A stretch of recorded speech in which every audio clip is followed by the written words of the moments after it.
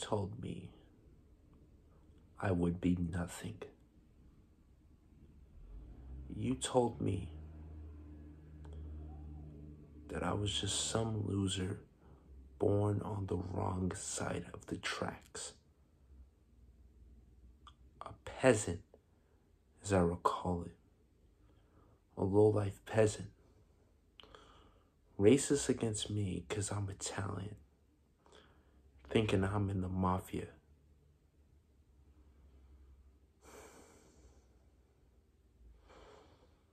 You never looked me in the eyes and observed my character, my makeup as a man. You judged me and criticized me and never gave me a fair chance. Had I not have olive skin, you would have given me that loan for my business. But I digress. Perhaps you would have laughed and waved me off as you did. Unless there was some large piece of the pie for you. Too large, I'm afraid. Always too large indeed.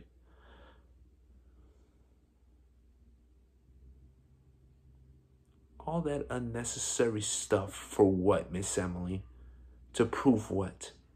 That you're the stronger one? The dominant one? The one who calls all the shots? Hmm. Maybe you do. May you call the shots. One thing is certain though. This bit this trip is not just any sort of visit. See, I'm a busy man these days. This is a business trip. You see, Miss Emily, I am making a purchase today.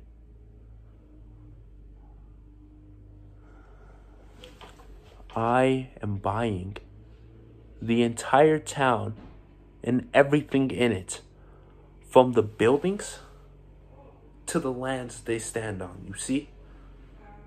I have swept the carpet from under you, you old hag. And I'll be living another 15 years, wondering what I'm gonna do next. Wretched old bat, you evil, crooked, spiteful woman. I've taken over your world and everything in it, and there's not a single thing you can do about it.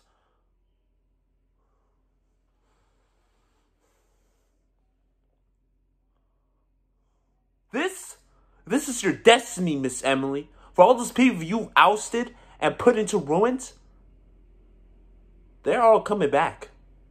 I have my men locating each and every one of them and their families. For all the wrong you have done has come to an end and will be set right by me, so help me God. Your evil display of tyranny has come to its final day. I am the new king around here. You have been dethroned.